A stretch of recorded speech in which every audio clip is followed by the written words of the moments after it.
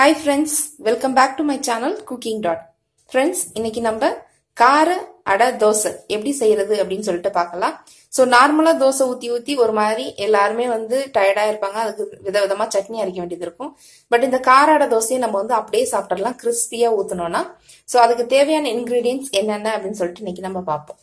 அதுக்கு வந்து பச்சரிசி ஒரு கப் இட்லி அரிசி ஒரு கப் துவரம்பருப்பு ஒரு கப் கடலைப்பருப்பு ஒரு கப் உளுத்தம்பருப்பு ஹாஃப் கப் காரத்துக்கு தேவையான அளவுக்கு காஞ்ச மிளகாய். நான் இன்னைக்கு வந்து ஒரு ஆறு காஞ்ச மிளகாய் எடுத்திருக்கேன். பெருஞ்சீரகம் எடுத்திருக்கேன். ஒரு ஒரு டேபிள் ஸ்பூன் கொஞ்சோண்டு இஞ்சி எடுத்திருக்கேன். இது வந்து நம்ம வந்து பருப்பெல்லாம் நிறைய சேர்க்கறதுனால இஞ்சி சேர்த்தா ரொம்ப டேஸ்டாகவும் இருக்கும். அது வந்து கேஸ் எல்லாத்துக்குமே வந்து ரொம்ப நல்லது. அதனால இஞ்சி வந்து ஒரு சின்னதாக ஒரு இஞ்சி பின் இஞ்சி வந்து எடுத்திருக்கேன். அதுக்கப்புறம் பூண்டு வந்து ஒரு ஆறு ஏழு பல் பூண்டு எடுத்திருக்கேன். அதுக்கப்புறம் இது எல்லாத்தையுமே நம்ம வந்து ஊற வச்சு அரைக்கணும். அதுக்கப்புறம் நம்ம சேர்க்க வேண்டியது வந்து மஞ்சத்தூள் பெருங்காயத்தூள் ஒரு மூணு வெங்காயம் எடுத்திருக்கேன். அப்புறம் வந்து கொஞ்சோண்டு கருவேப்பிலை எடுத்திருக்கேன். ஸோ ஃப்ரெண்ட்ஸ் இப்போ நம்ம என்ன பண்ணணும் அப்படின்னா இது எல்லாத்தையும் தனித்தனியாக அரிசியை வந்து தனியாக ஊற வைக்கணும். ஸோ பருப்பு எல்லாத்தையுமே நம்ம வந்து தனியாக ஊற வைக்கணும். இங்கே பாருங்கள் ஃப்ரெண்ட்ஸ் நான் அரிசியை வந்து ஒரு த்ரீ டைம்ஸ் வாஷ் பண்ணிவிட்டு நான் வந்து ஊற வச்சிருக்கேன். அதே மாதிரி எல்லா பருப்பு எல்லாத்தையுமே வந்து மிக்ஸ் பண்ணி நல்லா த்ரீ டைம்ஸ் வாஷ் பண்ணி இதையும் நான் வந்து ஊற வச்சிருக்கேன். ஸோ இது ஊறிட்டு இருக்கும் போதே இதோடய நம்ம வந்து நம்மளோட இந்த காஞ்ச மிளகாவே வந்து இதோட வந்து ஆட் பண்ணிக்குவோம். அப்புறம் நம்ம வச்சிருக்க இந்த பூண்டையுமே வந்து ஆட் பண்ணிடலாம். இந்த ஒரு பீஸ் இஞ்சும் நம்ம வந்து இதோட தான் சேர்த்து அரைக்க போகிறோம் இந்த பருப்போட. ஸோ அதனால் இதையும் ஆட் பண்ணிக்கலாம். இந்த ஜீரக இந்த பெருஞ்சீரகத்தையும் இது வந்து சோம்புன்னு சொல்லுவாங்கல்ல ஸோ அதையும் வந்து நம்ம வந்து இதோட ஆட் பண்ணிக்கலாம். ஸோ இது வந்து எல்லாமே சேர்ந்து ஒரு டூ ஹவர்ஸ் ஊறட்டும். நம்ம அரைக்கும் போது அரிசியை வந்து ஃபர்ஸ்ட் அரைச்சிட்டு அதுக்கப்புறம் இந்த பருப்பு இந்த இன்கிரீடியன்ஸ் எல்லாத்தையும் வந்து சேர்த்து போட்டு நம்ம வந்து அரைச்சிடலாம் நம்ம நம்மளோட கார அடை தோசைக்கான மாவு வந்து ரெடி ஆயிடுச்சு. பட் இது திக்காக இருக்குது கொஞ்சம் இந்த அளவுக்கு குறை குறைப்பாக அரைச்சா நமக்கு போதும். ஸோ இப்போ நான் வந்து தால் அதோட ரைஸ் எல்லாமே போட்டு காஞ்ச மிளகா இஞ்சி பூண்டு எல்லாமே போட்டு வந்து அரைச்சிட்டு சோம்பு எல்லாமே போட்டு ஸோ இப்போ நம்ம இதில் வந்து நம்மளோட மஞ்சள் கொஞ்சமாக ஆட் பண்ணிக்கலாம்.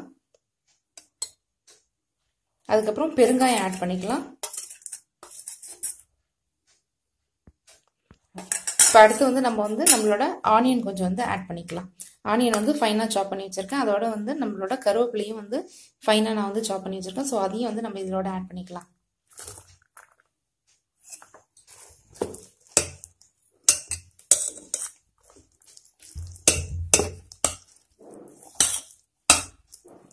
இது வந்து மாவு வந்து ரொம்ப திக்காக இருக்குது தோசை ஊற்றுறதுக்கு பதமாக இல்லாமல் ஸோ இதனால் நான் வந்து ஏற்கனவே நம்ம பருப்பு ஊற வச்ச அந்த தண்ணியவே வந்து நான் அதில் வந்து ஆட் பண்ணிக்கிறேன். தோசை ஊற்றுற பதம் இருந்தால் போதும். இங்கே பாருங்கள் ஃப்ரெண்ட்ஸ் நம்ம மாவு வந்து இப்போ ரெடி ஆயிடுச்சு. ஸோ இது வந்து ரொம்ப தண்ணியாக இருந்தாலும் நம்ம தோசை ஊற்றும் போது அடை ஊற்றும் போது வராது. ஸோ இது வந்து நமக்கு வந்து இப்போ இந்த கன்சிஸ்டன்சி வந்து நமக்கு கரெக்டாக இருக்கும். ஸோ இப்போ வந்து இதில் வந்து தேவையான அளவு நான் வந்து உப்பும் சேர்த்துக்கிட்டேன்.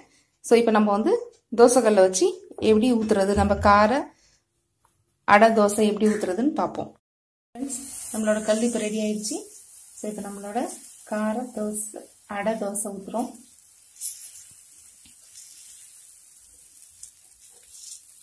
நல்லா மெல்லிஸாக வரும்.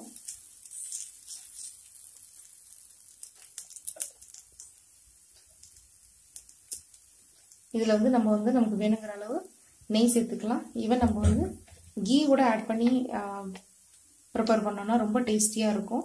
ஸோ நான் இப்போ வந்து நல்லெண்ணெய் ஊற்றி ஆட் பண்ணுறேன்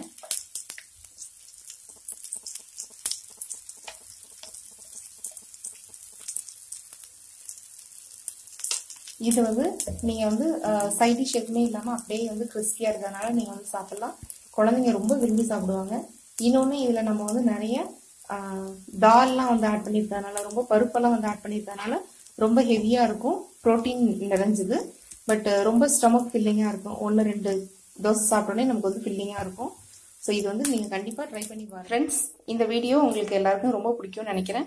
பிடிச்சிருந்ததுன்னா லைக் பண்ணுங்கள் கமெண்ட் பண்ணுங்கள் உங்களோட எல்லா டவுட்ஸையும் வந்து கமெண்டில் பண்ணுங்கள் ஸோ அதுக்கு வந்து நான் கண்டிப்பாக ரிப்ளை பண்ணுவேன். இந்த வீடியோ உங்களுக்கு பிடிச்சிருந்ததுன்னா உங்கள் ஃப்ரெண்ட்ஸ் கூட ஷேர் பண்ணுங்கள் மறக்காமல் என்னோட சேனலை சப்ஸ்கிரைப் பண்ணுங்கள் பக்கத்தில் இருக்க டிங் டிங் பெல்லை ப்ரெஸ் பண்ணுங்கள் தேங்க்யூ